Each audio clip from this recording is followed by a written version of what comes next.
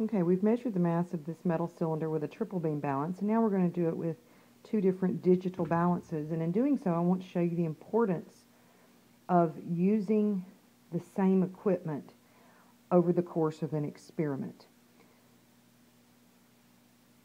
When you get on your bathroom scales at home and weigh yourself, and then you go to the doctor and weigh yourself, do those numbers always agree?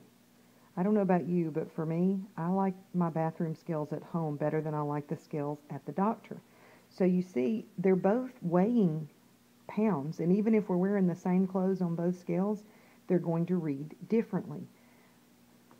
It depends on the device you're using. So I'm going to start with this scale. Notice, there's the decimal.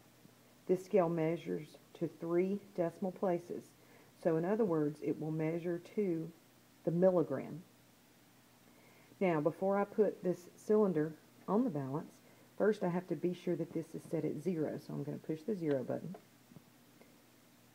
And it's zeroed.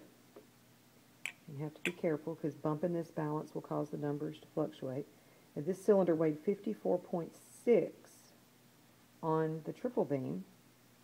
And here it's going to weigh 54.086. And I'm going to record all of these numbers on my data sheet. I'm not going to round when I'm using a dig digital balance. I don't round, I don't estimate, I record every number. So it's slightly different from the triple beam. It wouldn't matter over the course of an experiment as long as I picked one of these balances and stood with it. So this is was 54.086, and then it started fluctuating because of air. Let's see what this balance, it's just a different balance. Still weighs to three decimal places, the milligram. We've got to get it to zero. Okay. And when I lift it, it's probably going to start fluctuating even more. And it's going to weigh at 54.064. So perhaps these digital balances are calibrated more accurately.